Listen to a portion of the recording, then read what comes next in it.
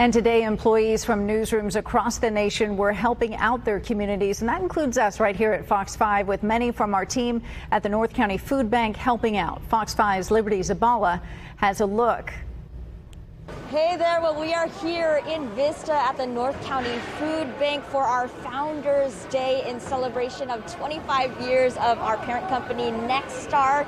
And we are celebrating by giving back here at the food bank. And we have special Fox 5 team members here packing away items for those in need. And we have a special guest, our news director, Rich Goldner. Rich, how are you? Hi, Liberty. what are you doing here right now? So we're taking uh, each individual product here and putting it together and uh, making a little basket for somebody.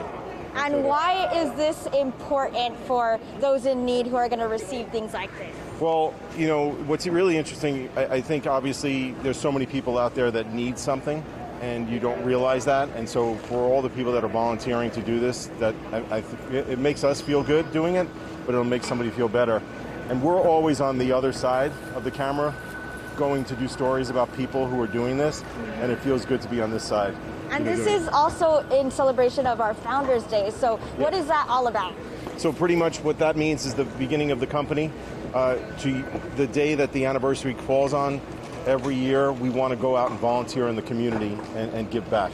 Absolutely. And this is such a great way to give back. I'll let you get back to work packing away. Thank you so much, Rich. And as you can see, we have reporters like Kasha over here. She's also helping out.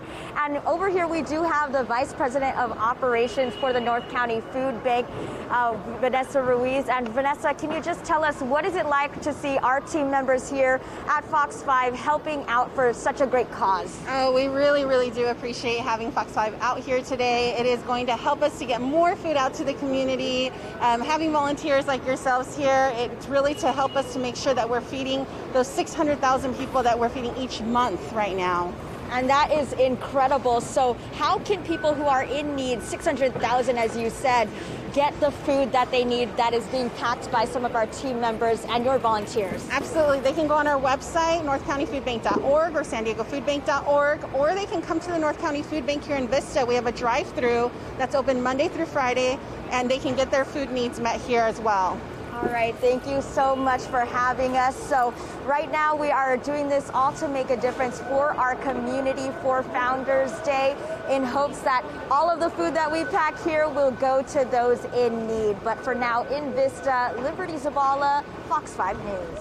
What a wonderful way to spend the day. And if you would like to volunteer in your community, please share the image on social media with the hashtags Nexstar Nation and Nexstar Cares.